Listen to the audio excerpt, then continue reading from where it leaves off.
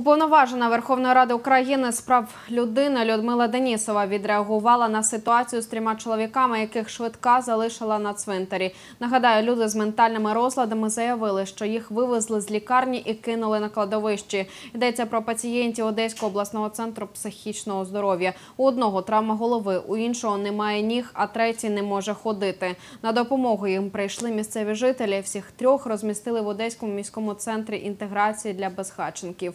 Туди Денісова направила свого регіонального представника. Керівник закладу розповів, що 4 червня швидка доставила до них трьох чоловіків, один з яких підтвердив, що лікувався в медцентрі психічного здоров'я, та пояснили, що пацієнти перебували у задовільному психічному стані.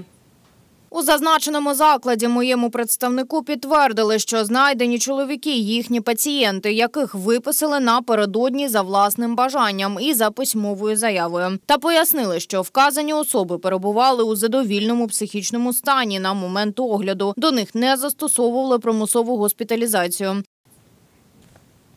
За словами омбудсмена, поліція Одеса почала досудове розслідування інциденту за ознаками умисного залишення без допомоги осіб в небезпечному для життя стані, нездатних подбати про себе через стан здоров'я. Відомості вже внесли до єдиного реєстру досудових рішень.